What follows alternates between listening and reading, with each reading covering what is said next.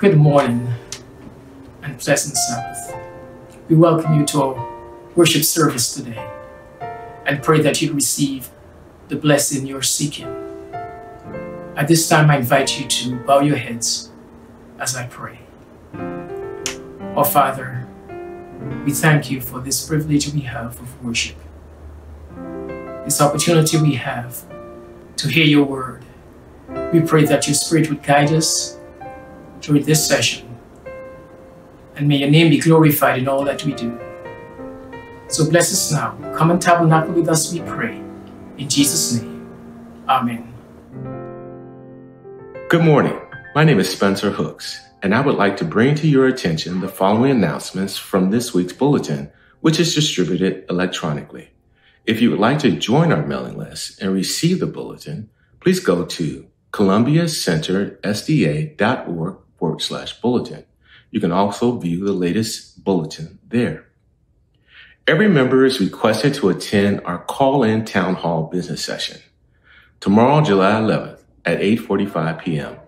We will discuss the latest updates to our new building at 9121 Red Branch Road. Congratulations, 2020 graduates, kindergarten through grad school. Let's celebrate you. Please share your videos or still photos of you in cap and gown so we can share this milestone in your life. Sabbath, July 18, 2020 at 3 p.m. Where do we go from here? The new church normal? Join the discussion as Dr. Milton Brown and other panelists discuss various aspects of returning to CCC amidst COVID-19. Do you have questions regarding worship service, interaction with members of the community, or how to remain safe as COVID-19 remains? Then this discussion is for you. Again, if you would like to view our announcements or join our mailing list, please go to columbiacentersda.org forward slash bulletin. Today, the CCC family would like to recognize Mika Byam, Christine Williams, and Jeffrey Brooks, who celebrated their birthdays this week. We hope you had a blessed birthday, and we wish you a safe and spirit-filled year. I invite all our CCC members as well as our friends who are watching this stream to join me as I approach God's throne of grace. Let us pray. Almighty God, we come to you this morning because you are our creator, our redeemer, our sustainer, and our prayer answering God. We come, Lord, in the midst of a world that seems to be spinning out of control and all the circumstances around us that cause for anxiety and fear and concern. As we come this morning, we thank you that we serve a God who hears and answers prayer and who will reach into our circumstances to do that which is best for us. As we come this morning, we present our praise and thanks for all the blessings that we have received at your hand. And we present all our concerns. You know them all, Lord. Those that we have dared to speak aloud, those that we have written, and those that are in the deepest recesses of our hearts. Such deep and personal desires that only you can know about. And we thank you that you see and hear each one of us and our heart's cries. So hear the pleas this morning for healing for all those who feel afflicted in some way because of health challenges. Place your healing hand upon them. Be with those, Lord, who are concerned about finances, those who are concerned about family. Lord, meet the needs of each one. we pray for our children, for the challenges that they face growing up in this difficult world. We ask that you place a hedge of protection around them and give us godly wisdom and help us to lean on you as we pray for them for their deliverance. We pray for those who have been adversely affected by the circumstances around us.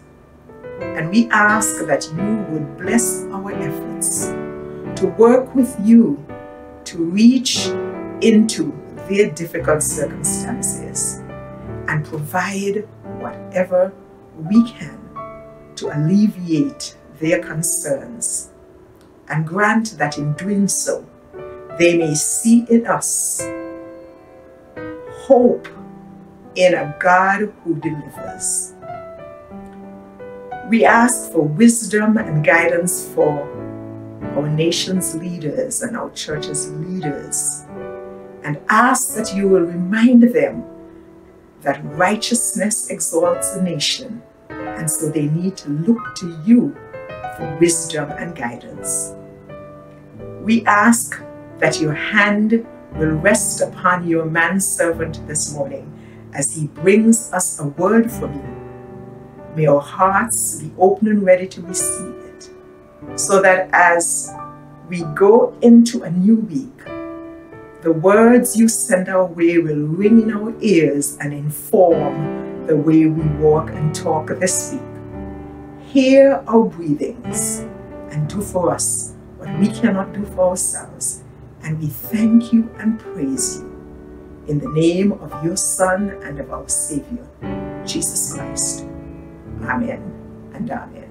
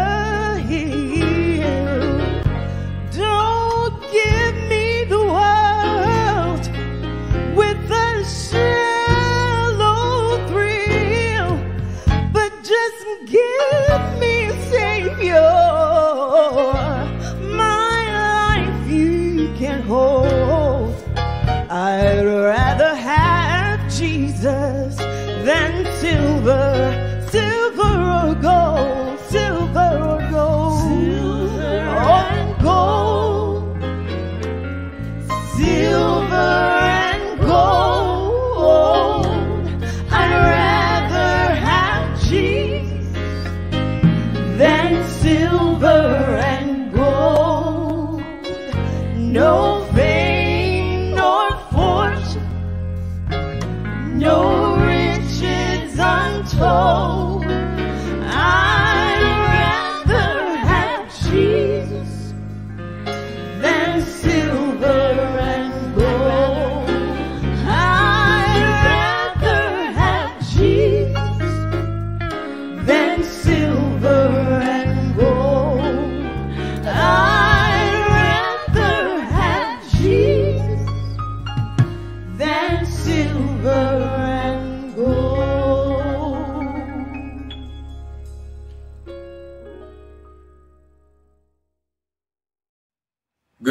everyone, and happy Sabbath. It is a joy to be back home, being able to worship together. Last week, uh, we spent the Sabbath celebration in our virtual camp meeting, and we want to thank uh, the administration and all of the staff and the workers and the departmental secretaries uh, for putting on such an excellent program, especially uh, Sister Latasha Hewitt and Brother Charles Williams of the communications and technology departments and their respective staffs. Thank you so much. You truly blessed us and all of the workers who were involved in that massive production. Uh, these are exciting times here at Columbia Community Center. As we all know, uh, we went to closing on June the 18th. A number of ministry events have already started taking place at 9121 Red Branch Road. I want to encourage our members, by the way, that if you have not gotten out much and if you have not gone by the building, why don't you hop in your car this afternoon, take a ride over. You'll see our signs already up on the building, identifying it as God's place of uh, Columbia Community Center. And uh, just go by, drive through the parking lot. Uh, we will be coming out with uh, more information, especially tonight, in our town hall business meeting, which we hope everyone will participate in, where we, where we will be giving you more updated information. Uh, I want to thank the project management committee for the hard work that they are doing working with the architect as we are moving forward. This is a day that we have been longing for, praying for uh, since our inception in 1996. And God has been so gracious to us. He is faithful to his people. So we just want to pause and praise his holy name. I'm not going to preach long today. I just have a few things I want to share with you. But first, I want to thank Covered, uh, Colleen, Denise, and Linda uh, for that wonderful selection from one of our previous services. I'd rather have Jesus, more precious than silver and gold. And that's who I want to talk about today, our blessed Savior. Won't you bow your heads with me in prayer?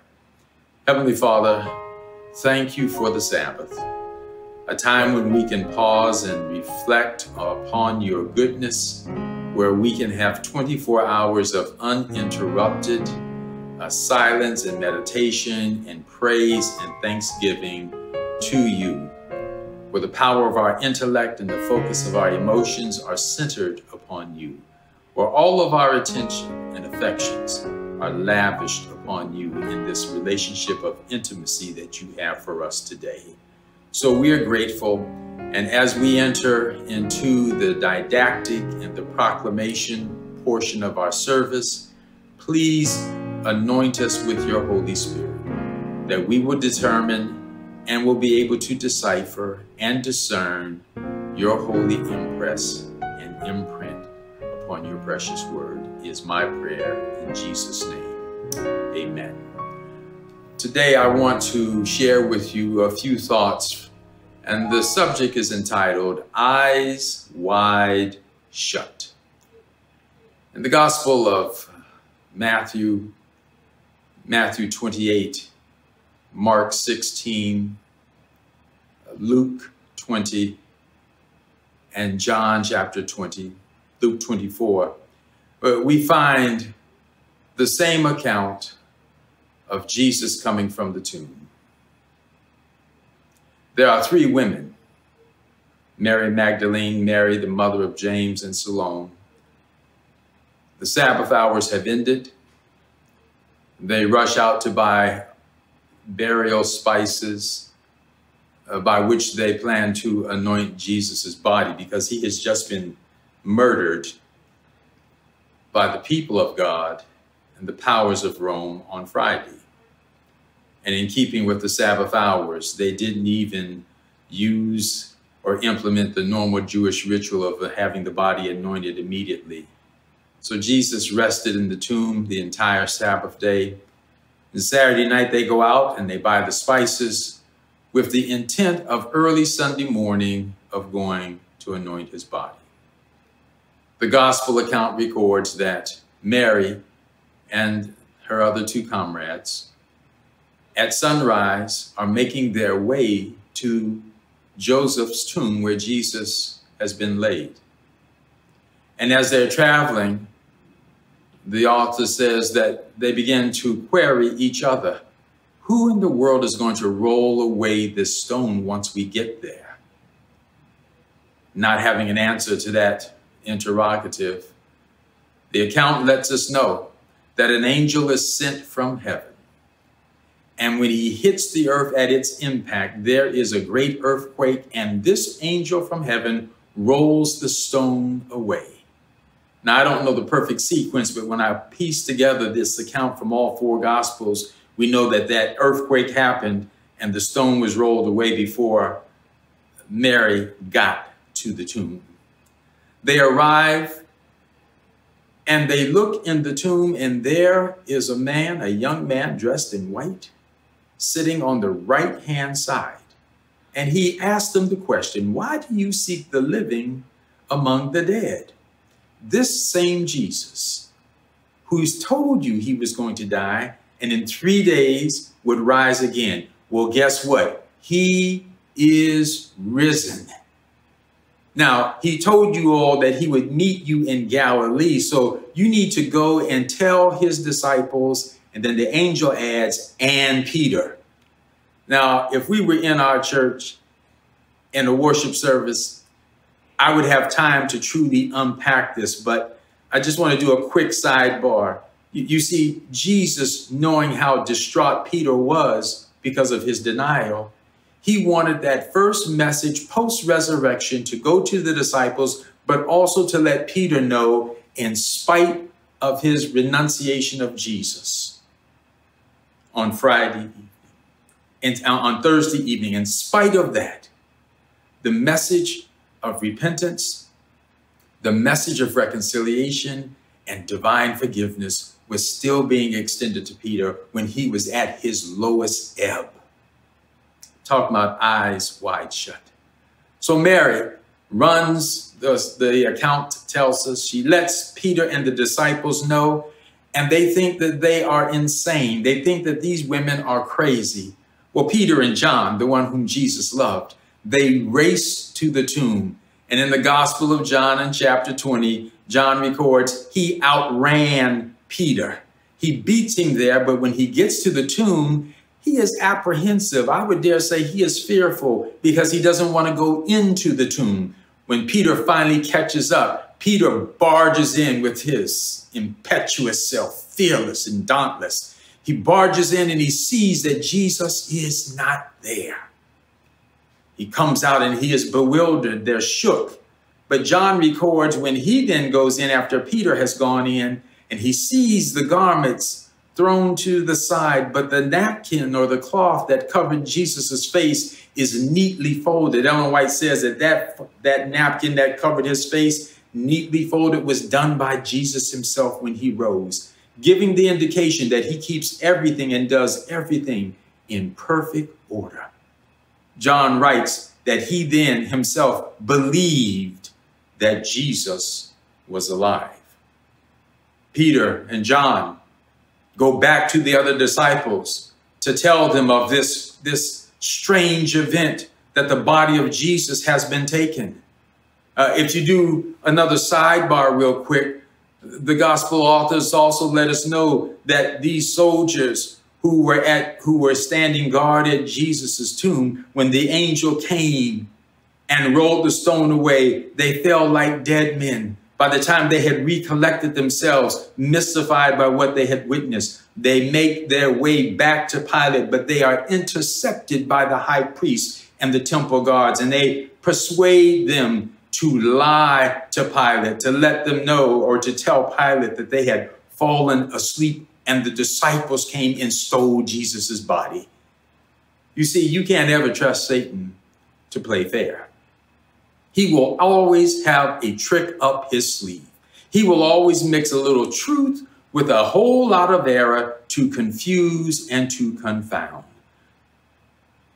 But in spite of that lie, the Bible tells us in Mark chapter 16 and verse 9 that Mary Magdalene, the one whom Jesus had cast out seven devils, the one who washed Jesus' feet with an alabaster of oil of expensive perfume and then dried his feet with her hair.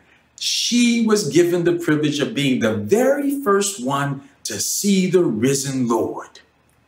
And so here is Mary at the tomb crying. And, and, and she's wondering where in the world have they taken her precious Savior? She came on a mission of mercy and complete adoration and affection because she wanted to anoint his body when men and his followers and even his disciples had abandoned him. They don't did not want to be associated with him lest the same fate that fell upon Jesus would fall upon them, but not Mary. Mary had experienced the rich and deep vein of forgiveness that Jesus had extended to her, washing away her sins, while others still confronted her and held that proverbial sword of Damocles over her head, reminding her of her past.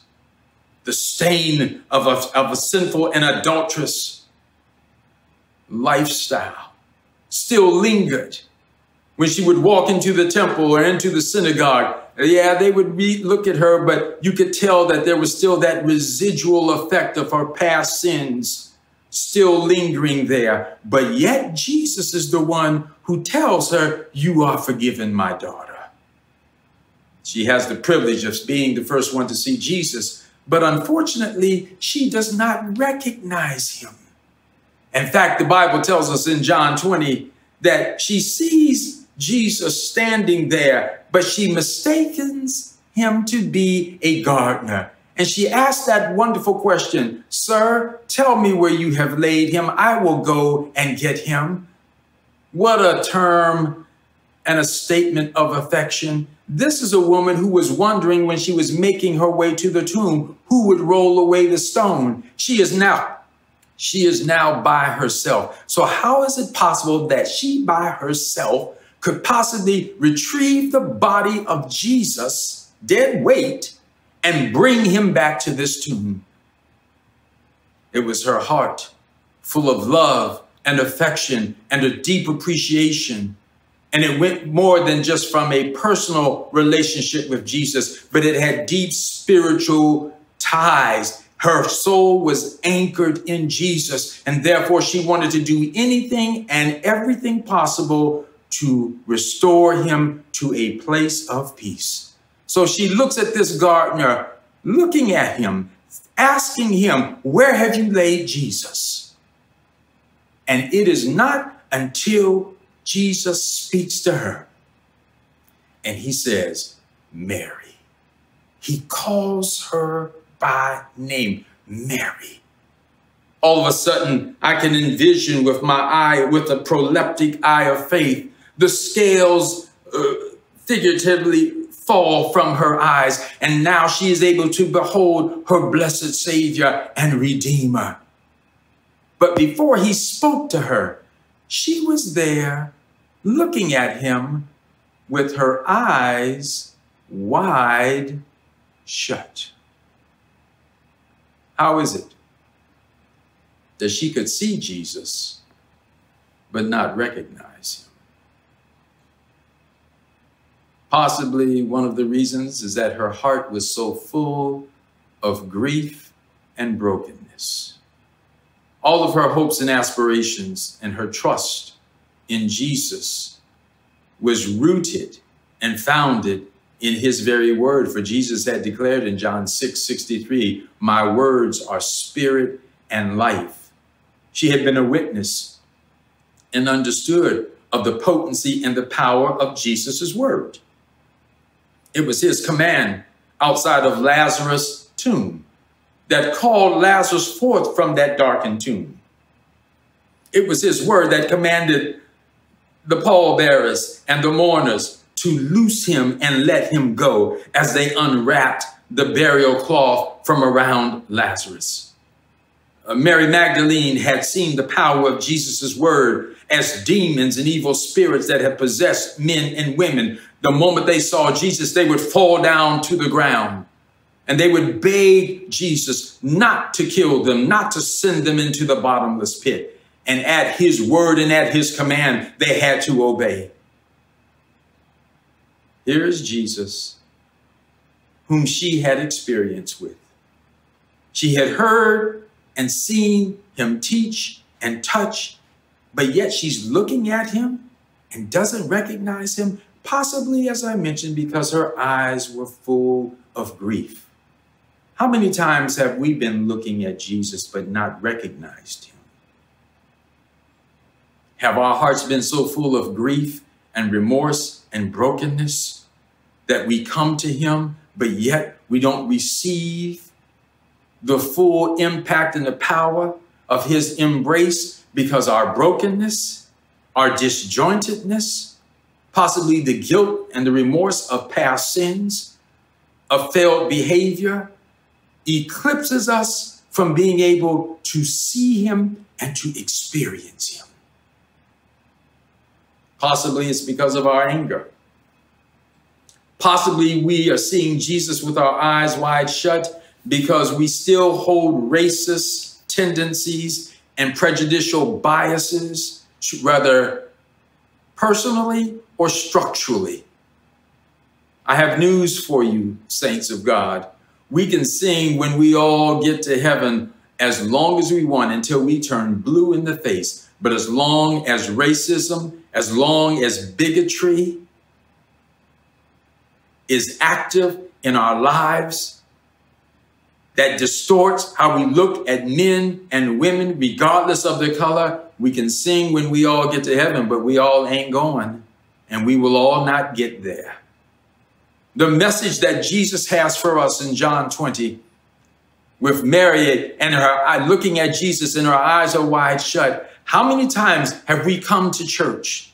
How many sermons have we listened to? How many praise teams have we celebrated? How many camp meetings have we gone to? How many Bible studies? How many sermons have I preached? But have I been looking at him and my eyes are still wide shut? No. Mary didn't recognize him, and I would dare say the thing that keeps us from recognizing him is when, instead of looking through with the eyes of faith, we're looking with the vision of presumption. Instead of us appropriating Jesus experientially, we merely deal with him from pure, unabated emotions. Instead of loving him with all of my heart, I serve him from the lust of the desires that I want him to fulfill. In order for me to experience the liberating power of Jesus. I'm talking about that liberation of power. Uh, when you read in, in, in the Gospel of Mark, around chapter 9, uh, after Jesus has been, and I hope you all are still with me, after Jesus has been on the Mount of Transfiguration with Peter, James, and John, and they have experienced this wonderful symbolism of the power of the kingdom of God. In fact, that's what Jesus meant in chapter 9 of Mark and verse 1. He said, Some of you standing here today, you won't, you will see the kingdom of God coming in its power before you die. And about six days later, as you go on and, and Mark 9 and verse 2, Jesus takes these three men, I call them his kitchen cabinet, his closest advisors, those who experience specific miracles uh, by Jesus, those who he took into his inner confidence. He takes them up on this Mount of Transfiguration. And as he is praying, the word of God says that his clothing turned as white as any bleacher's form formulation could make it. His face changed, his clothes changed. And then Moses and Elijah appear and they are talking to Jesus and ministering to him. And Peter is so impetuous. He says, Lord, it is good for us to be here. Let's make three tabernacles. I can imagine James and John are so stupefied and they're wondering in their minds, why doesn't this fool just shut his mouth and take it in? And then Mark says, a cloud overshadowed them, and a voice of God calls out, This is my, de- my dearly beloved Son, in whom I am well pleased. And then God gives a directive listen to him.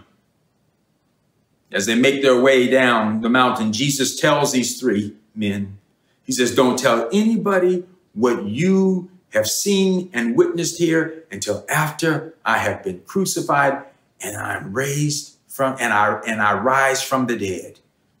Mark says that they all were wondering amongst themselves, what does he mean by rising from the dead? Because they didn't understand. And then they come down to the other disciples, and Mark says there is a large crowd and there's a great commotion because a man whose young son is possessed by an evil spirit brought him to the other uh, nine disciples, asking them to cast out the demon, and they could not do it.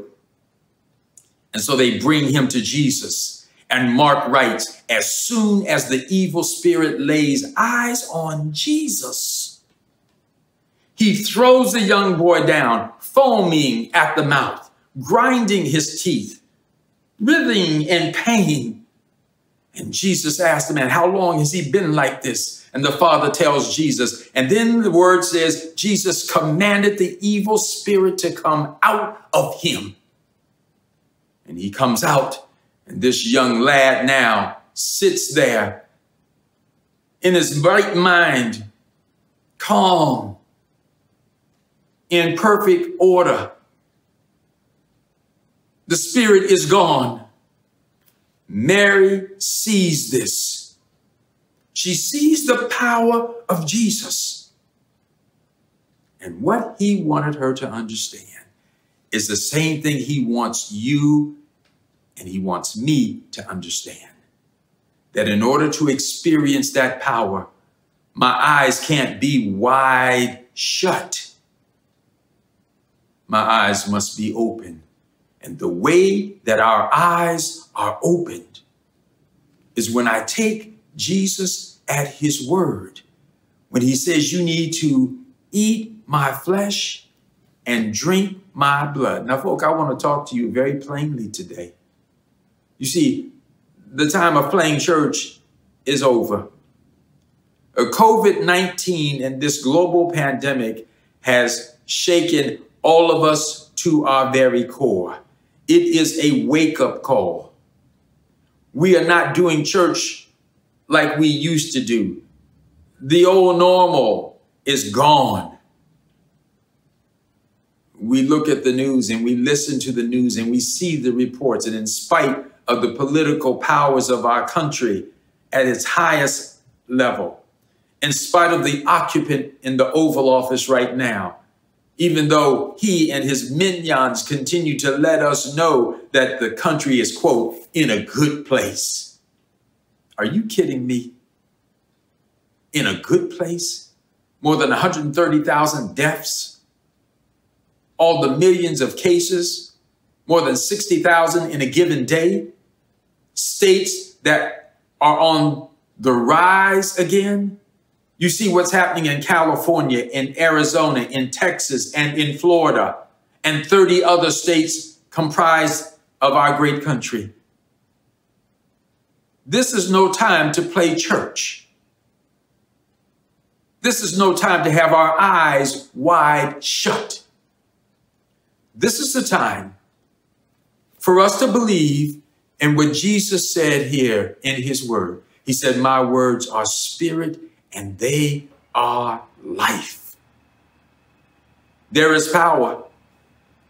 There is power in his blood that forgives us of our sins that restores us to the Father, that gives us access to the Father. There is power because he has promised to give us his Holy Spirit. Jesus has the power to mend that broken heart. It is his power that co-joins with our surrendered will.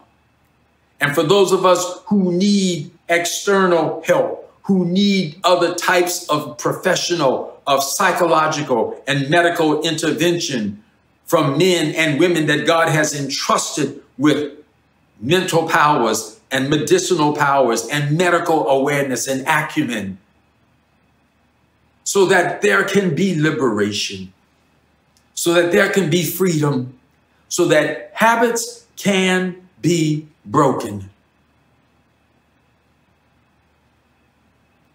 The Gospel of Mark also tells us that there is a problem with the detox with, with the with the toxicity of sin.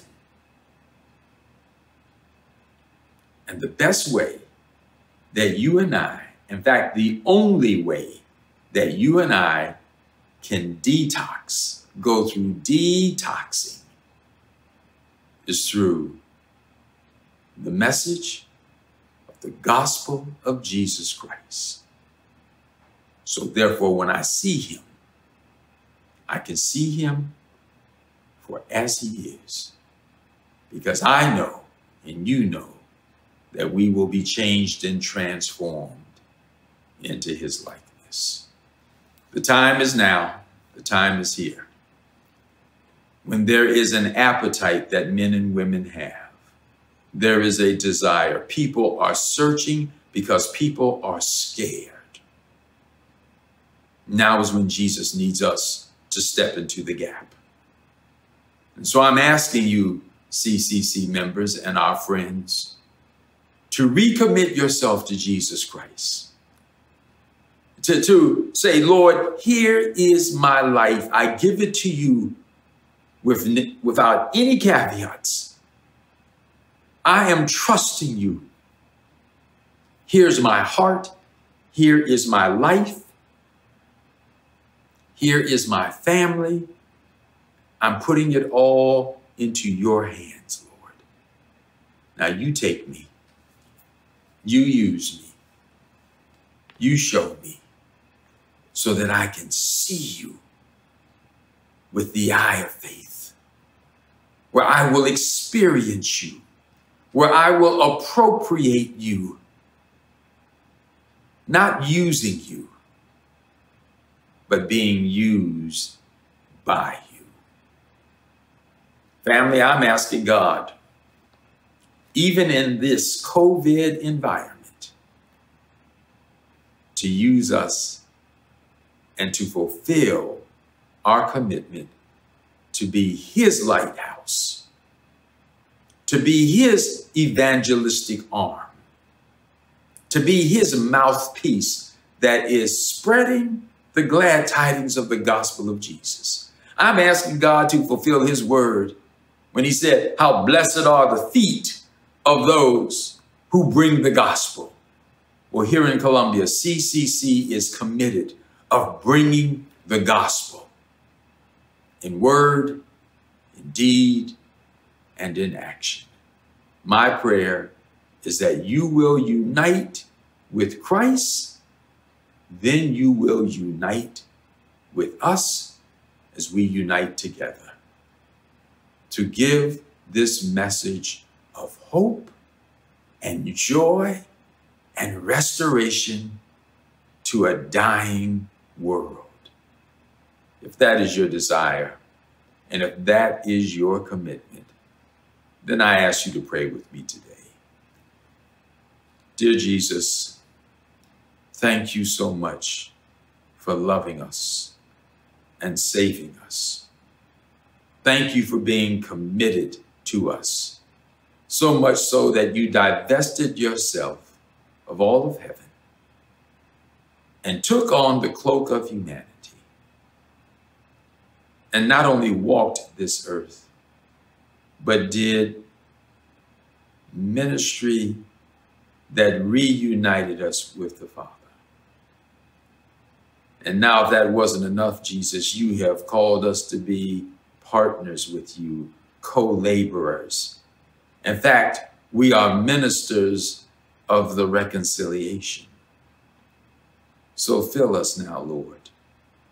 Open doors that no man can close. Then close those doors that no man can open.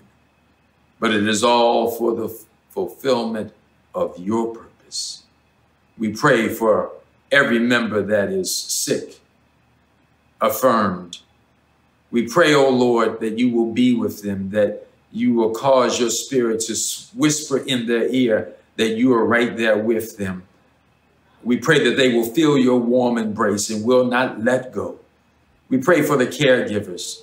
We pray, O oh Lord, that there will be a special anointing of your Holy Spirit that will not only fall down upon CCC and every member and every officer and every family, but we're praying, Lord, for every church in our metro area, every church and pastor in Allegheny East Conference, in this union, in this division, in this worldwide church and body of believers. Send your Holy Spirit, Lord Jesus.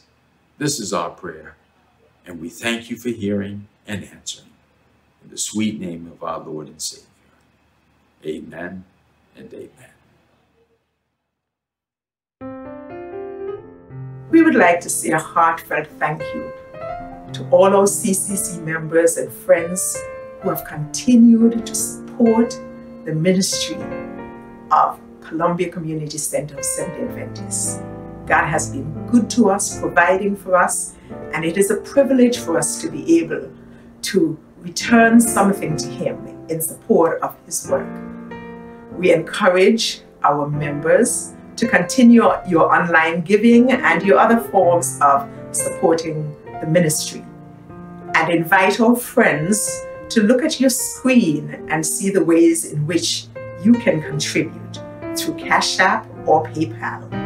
Thank you so much for your continued support of the ministries at Columbia Community Center of Seventh-day Adventists.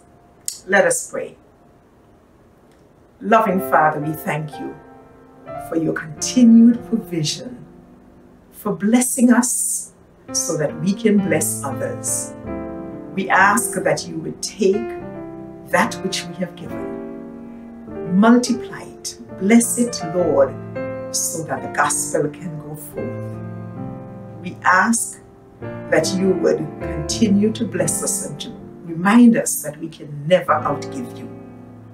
And as we come to the end of this service today, Lord, we ask that your Spirit will continue to abide with us. We pray that you will remind us that you are walking with us along the paths that we will travel in the week ahead. May we have your divine benediction and may we feel your Spirit's presence as we walk this way. Continue to bless us and come quickly, Lord Jesus, we pray. In your blessed name, Amen and Amen.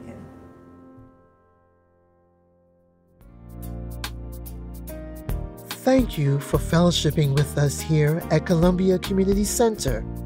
May God be victorious in your life this week and we look forward to worshiping with you again next Sabbath.